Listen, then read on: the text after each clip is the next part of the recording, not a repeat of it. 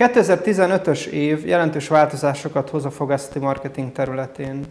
Átértékelődnek a trendek, és újabb megoldások kerülnek felszínre, amelyekről ez idáig nem vagy keveset hallottunk. Az eddigi tapasztalatom az, hogy a marketing területén a fogászati rendelők rengeteg kihasználatlan lehetőséggel rendelkeznek.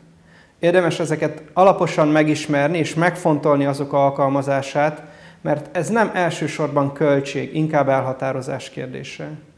A 2015-ös Upgrade kongresszus marketing workshopján olyan kézzelfogható és gyakorlatias eszközöket szeretnék rendelőtulajdonosok és fogorvosok kezébe adni, amelyel értékesebbé tehetik a marketing eszközparkjukat, és a marketing végre azt fogja csinálni, mert az igazi dolga, behozza az új vevőt az ajtón.